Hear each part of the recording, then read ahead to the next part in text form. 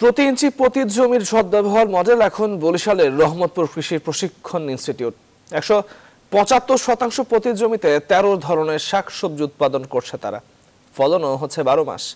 এই পদ্ধতিতে কৃষিকাজ মাঠ পর্যায়ে ছড়িয়ে দিতে কৃষকদের প্রশিক্ষণ সহ নানা উদ্যোগ নিয়েছে সংশ্লিষ্টরা। রাহাত খানের পাঠানো তথ্যচিত্রে ডেস্ক রিপোর্ট।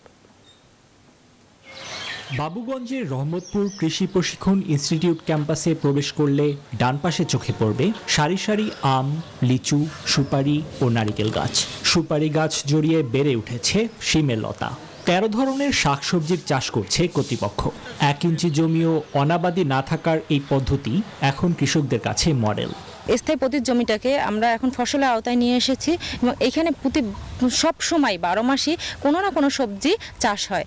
এই আমাদের এই চাষ দেখে, এই আমাদের চাষাবাদের কৌশল অবলম্বন করে, যদি কৃষকরা অবলম্বন করে, তাহলে তারা নিজেরা যেমন তাদের সবজি চাহিদাটা পূরণ হবে এবং বাজার বিক্রি করে তারা উপকৃত হবে। অধ্যক্ষ জানান, সব কৃষকের পতিত জমি কৃষির আওতায় আনতে পারলে নিরাপদ খাদ্যে স্বয়ংসম্পূর্ণ হওয়া ছাড়াও আর্থিকভাবেও লাভবান হবে তারা।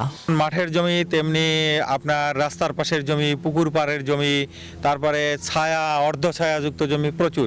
এটা আমরা আস্তে আস্তে পরিকল্পনা করে আমরা আবাদের আওতায় নিয়ে আসছি। সংশ্লিষ্টরা জানান মাঠ পর্যায়ে কৃষকদের মাঝে এই পদ্ধতি ছড়িয়ে দিতে এরই মধ্যে নানা উদ্যোগ নেওয়া হয়েছে। কৃষকরা এই বিষয়ে ইতিমধ্যেই তারা সারা জেগেছে এবং তারা মাননীয় প্রধানমন্ত্রীর যে নির্দেশনা সেটা ছিল প্রতি ইঞ্চি জমি ব্যবহার করা।